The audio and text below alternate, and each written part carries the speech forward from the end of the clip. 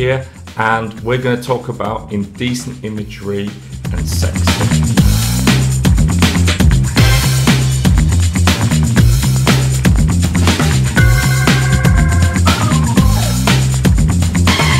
Okay, so you need to know some stuff about this topic, and I'm going to take you back through time a little bit so that you can see the world from the point of view of your parents.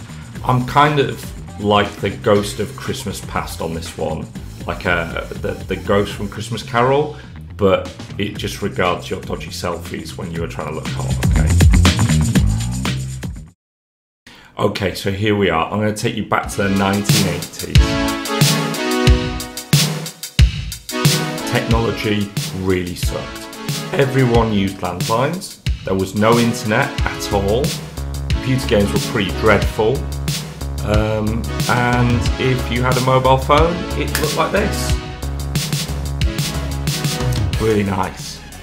So, no social media, no text messages, no WhatsApp, no video conferencing, no Spotify, no YouTube, four channels on the TV, and your television looked like this.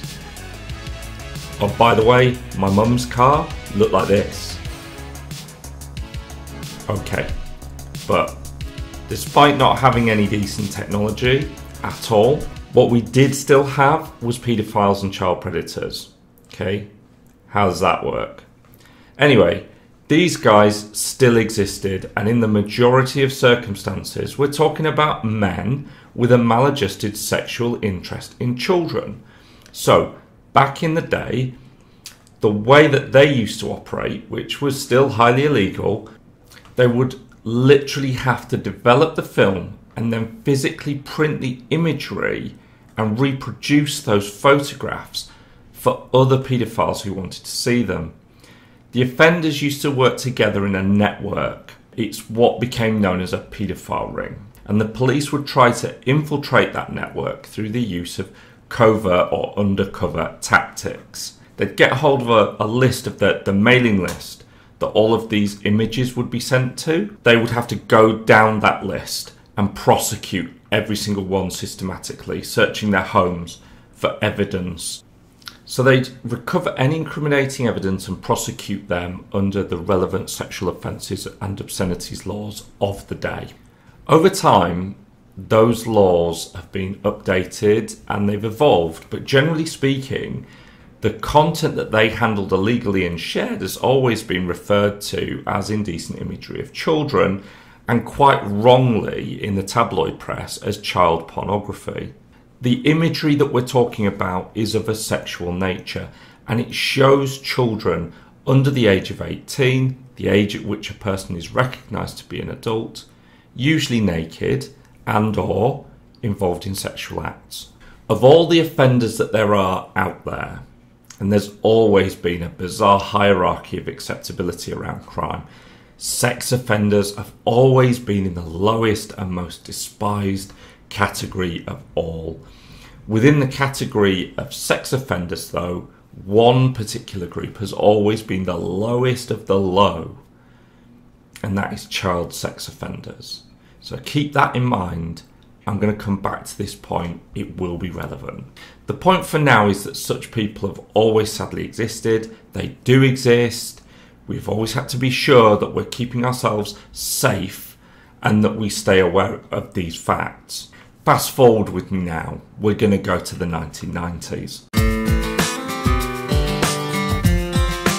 Around the middle of the 1990s, something amazing started to happen. We still didn't really have mobile phones, definitely not like what we have today, but the internet started to change the world. I sent my first email, and in this decade, I also went off to university. When I got there, everything was payphones. By the time I left, everyone had a mobile phone. It didn't have the internet on it, and it still didn't have a camera, so they were really basic, but this is where the journey starts to happen. The internet and the mobile phone were in motion. Things were starting to evolve. So come with me now and we'll go to the 2000s. Once the millennium hit, we thought we were in the future.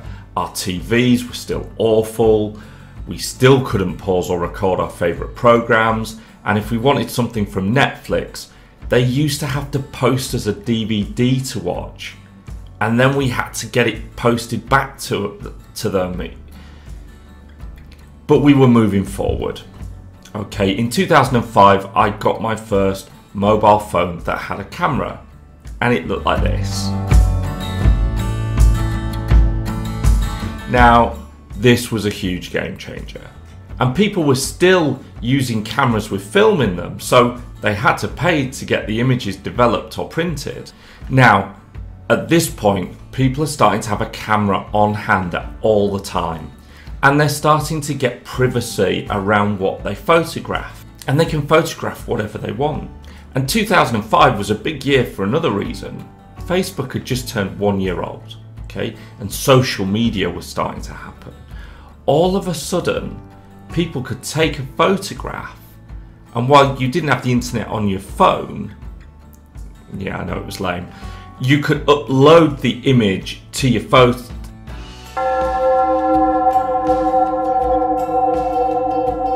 you could upload the image to your computer and from there you could get it onto the internet. Now remember it wasn't until 2007 that Steve Jobs and Apple changed everything by launching the iPhone.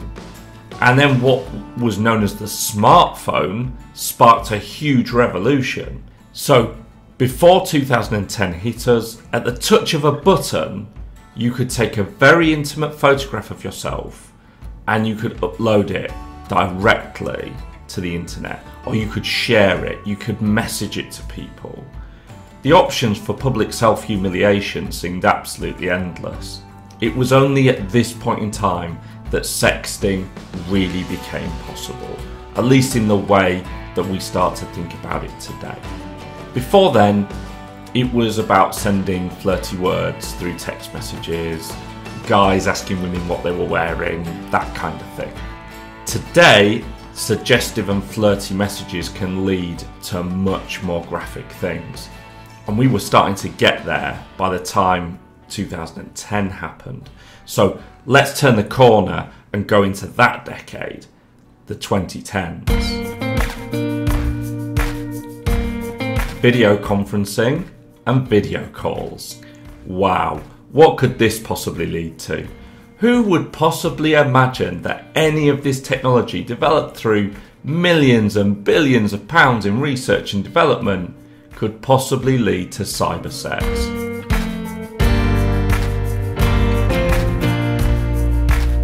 A situation back there in the 1980s where paedophiles and sexual predators had to physically print their images and distribute them through a mailing list. As the decades have passed, this burden, this natural barrier to their activities, has just got easier and easier. We now have a situation where cloud storage and the darknet can make billions in revenue from indecent imagery that such people pay subscriptions to. One step further is the pseudo image and the deep fake, where an image of someone else's body can be replaced with someone else's head or likeness. People can be made to look like they're doing things that they're not. Bikini shots can be adapted. Even clothing garments can be removed. It gets creepier and creepier. The law that punished paedophiles in the 1980s, the 1990s, and the 2000s onwards are now genuinely a problem for teenagers. An indecent image of a child is defined as some, something where it depicts a person who's under the age of 18, and the content of that image clearly has a sexualized content or suggestion within that image. There's a grey area on some images, but most indecent images are clearly indecent. And the majority of people would look at them and recognise them as such. This is exactly the same law that was attached to, yes, you remember what I said, the lowest of the low, the worst and the most socially despised of all criminals, the child sex offender.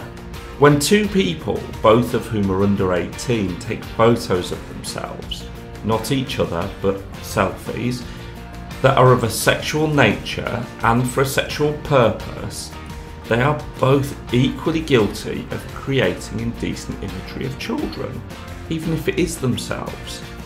If they send those images to each other in exchange, they're now distributing indecent imagery of children, much as the 1980s paedophile was. This is why when a police officer calls a parent on the phone and says, I need to bring your son or daughter into the police station, I'm afraid they've been distributing indecent imagery of children.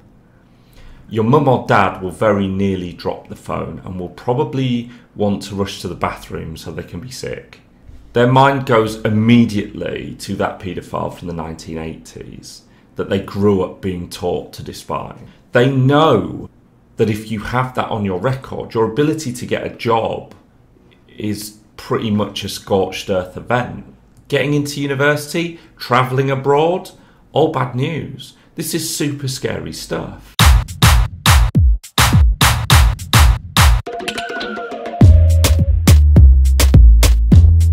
So here we are, back in the 2020s.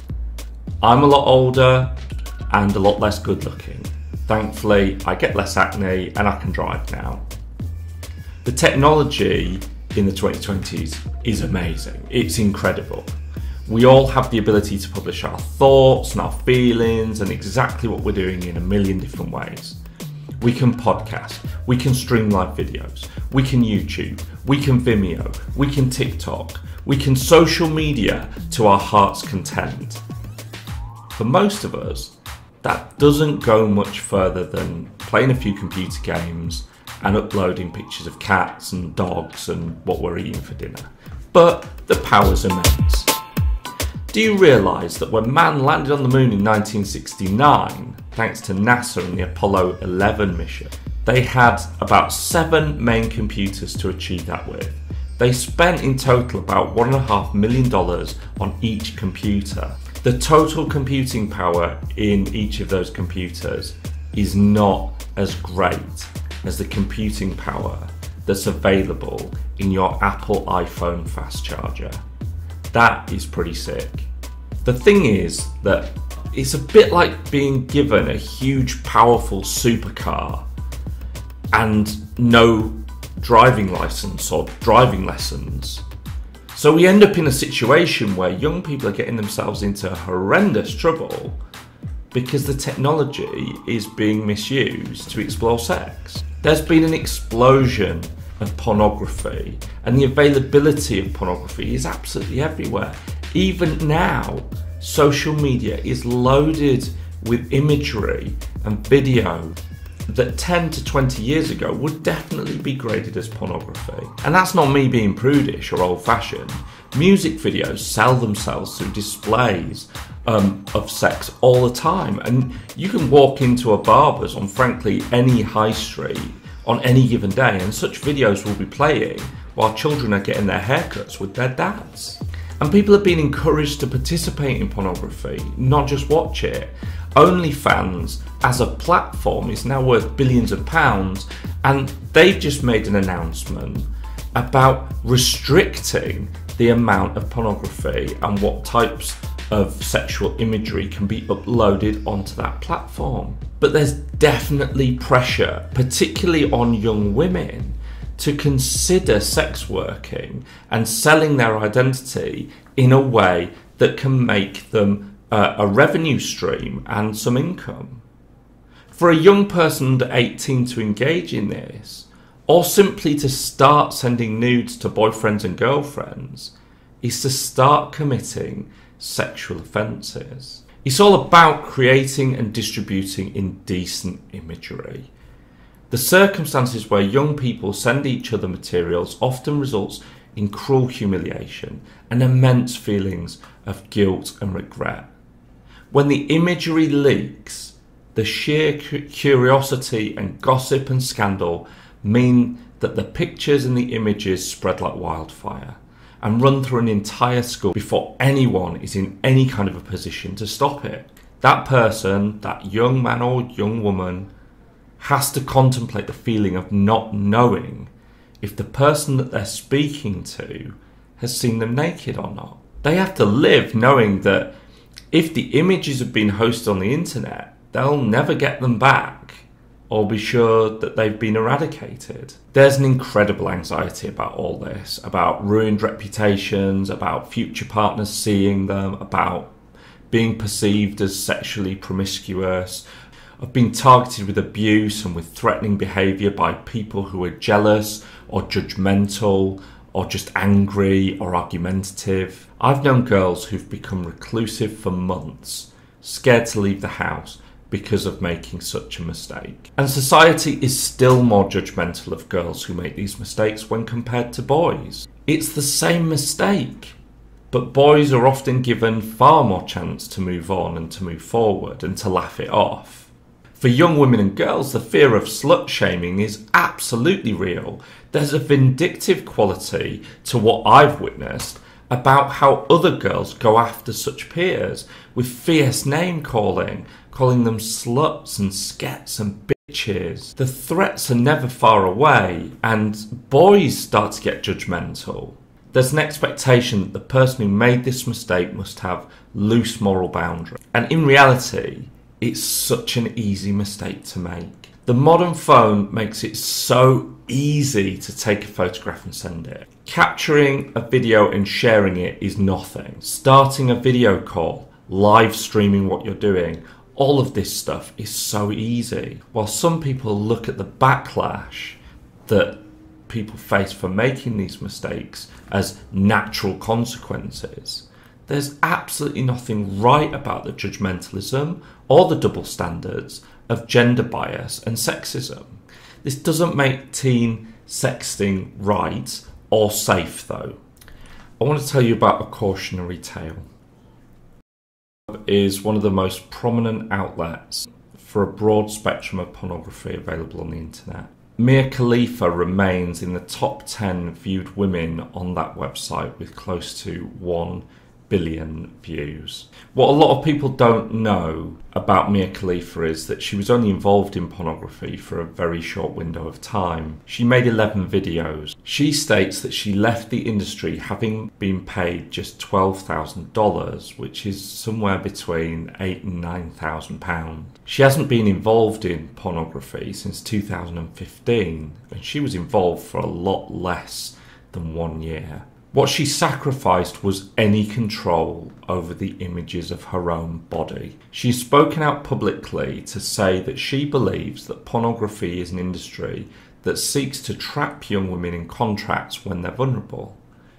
There is still an active website operating under her name, and she has no control over it and receives no income from it. She still receives abusive messages and even death threats.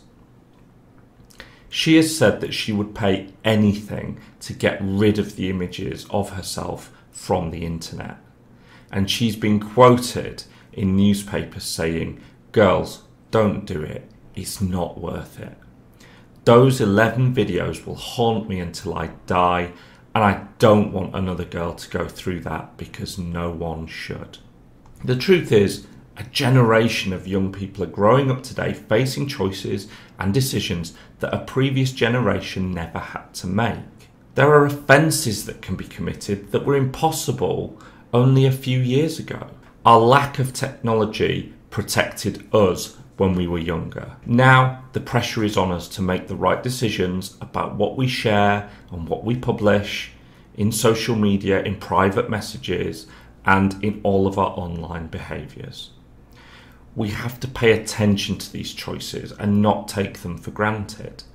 We must, above all, understand that sharing sexual imagery of people under the age of 18 is a criminal offence. Making those images is a criminal offence. Showing those images is a criminal offence. These are offences that nobody wants to be recorded for. While the current guidance from the National Police Chiefs Council is to avoid criminalising young people where possible for making such mistakes, the law in England and Wales is still very much in place where it always has been.